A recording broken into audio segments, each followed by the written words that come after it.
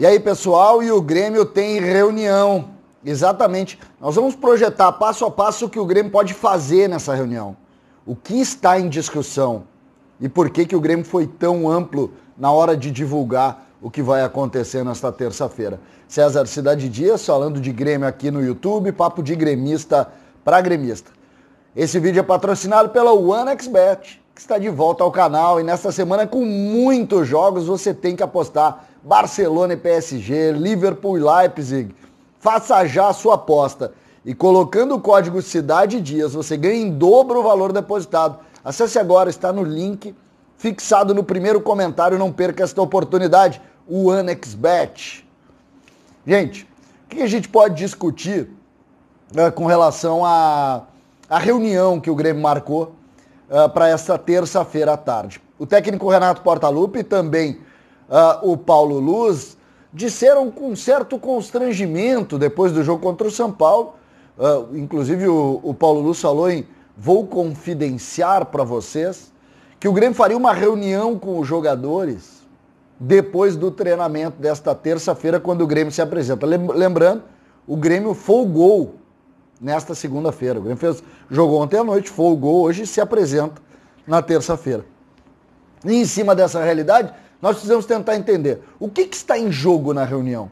Que reunião é essa que vai determinar que o Grêmio uh, tenha alguma, vamos dizer assim, alguma uh, uh, resolução para fazer numa situação como essa? E eu lhes digo, o Grêmio vai cobrar os jogadores.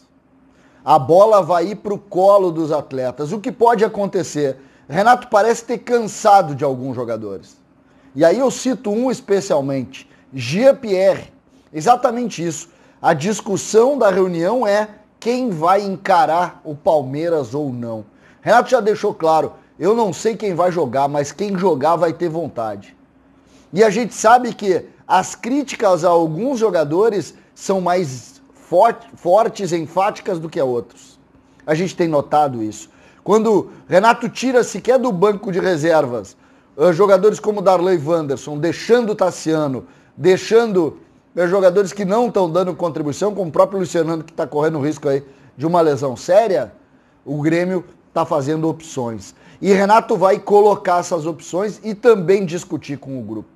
Renato usou outra situação, quem vai e quem pode substituir o, o Michael.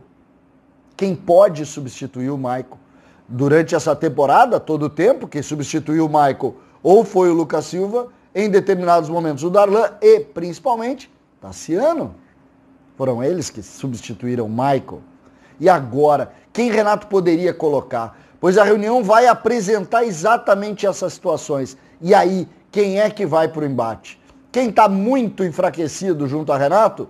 O David Braz, que já está praticamente fora dos planos o próprio Jean-Pierre, que está praticamente fora dos planos, o Ferreira, que também está sofrendo esse problema. Lembrando que Pinares está fora da Copa do Brasil, que Luciano está fora da Copa do Brasil, que Robinho, que sequer vai ficar, também está. Que Grêmio nós vamos ver?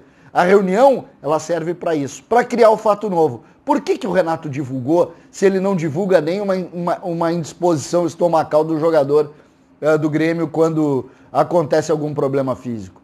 porque ele quis colocar também no colo dos jogadores a responsabilidade.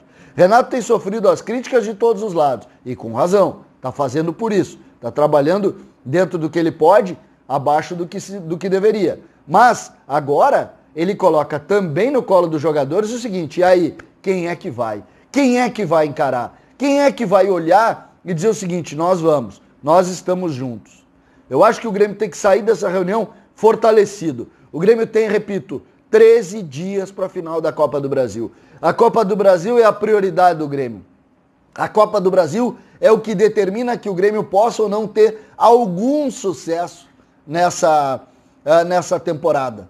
Uma, uma derrota na Copa do Brasil e dentro do que o Campeonato Brasileiro está determinando é um caos para o Grêmio. Por quê? Porque atrapalha todo o planejamento da próxima temporada que começa em março. Todo o planejamento. Portanto, a leitura da reunião é uma leitura de tentar criar um fato novo.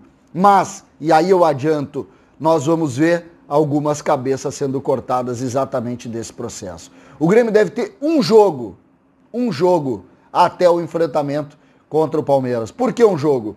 Porque o Grêmio não vencendo o Atlético Paranaense, por exemplo, no próximo final de semana à noite, lá na Arena, o que nós vamos ver? Nós vamos ver um Grêmio fora da zona de grupos da Libertadores e jogando exclusivamente pela, pelo, pela Copa do Brasil para tentar uma vaga direta. Se não, e acho que já está garantido, pelo menos na fase pré-Libertadores, mas que, repito, do ponto de vista de análise de calendário do ano que vem, é um caos. Então, o Grêmio tem essa realidade, o Grêmio pode, eh, a partir desse momento, cobrar dos seus atletas. Faz parte. Acho que fez tarde. Acho que fez tarde. O Grêmio não pode chegar em fevereiro, depois de uma temporada toda atribulada, e achar que uma reunião agora vai ser solução para os seus, para os seus problemas. Mas fez isso e vai colocando no colo dos jogadores também dividir responsabilidade. Que é naturalmente o que o Grêmio, ou o Grêmio vive na bolha, ou o Grêmio tem divisão de responsabilidade sem olhar exatamente o que não está dando certo dentro do seu processo. Essa tem sido a tônica do Grêmio, passar a mão em cima de quem não merecia que a mão fosse passada. Essa tem sido a lógica. Mas dentro desse processo hoje, o que nós temos é uma reunião marcada, um fato novo é para ser criado e espero sinceramente, tenho dito isso em todos os espaços, que o presidente Romildo Bolzan assuma para ele a condição. Só ele pode fazer. É o único homem que é capaz de chegar ali dentro e dizer o seguinte: as coisas precisam mudar. A gente sabe que alguns jogadores vão ser cobrados. Muitos deles que a gente nem concorda, mas a essa altura pouco importa. Por quê? Porque nós temos que ter a solução do problema. E a solução do problema, sinceramente, está com os jogadores e com o técnico Renato. Vai ser dentro do campo que as coisas vão ser discutidas. E em cima dessa realidade, nós temos que saber quem é que vai jogar. Quem é que vai jogar? Vanderlei segue, concordam? Ou vai tirar o Vanderlei? Vanderlei falhou grosseiramente. O Vitor Ferraz é o que tem, o outro nem no banco está. Na zaga, não tendo Walter Kahneman, que eu acho que vai para o jogo mesmo um, com muito sacrifício, quem vai ser o zagueiro pela direita? Todos fracassaram. Todos. O David Braz fracassou, o Paulo Miranda fracassou e o Tonhão fracassou. Na lateral esquerda, Diogo Barbosa segue.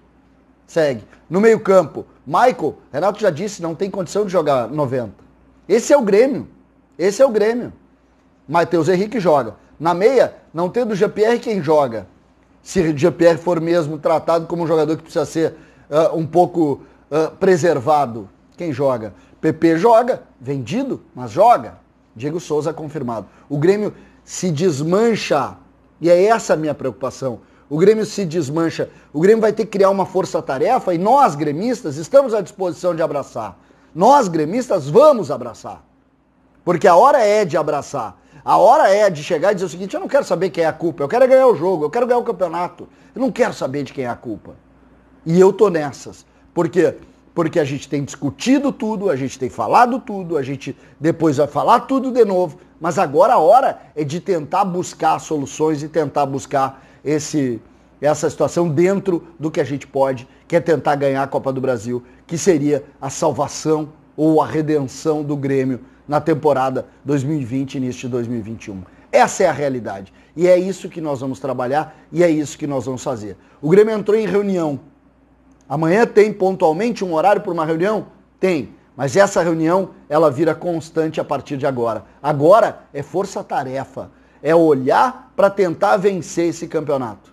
O Grêmio precisa deste campeonato.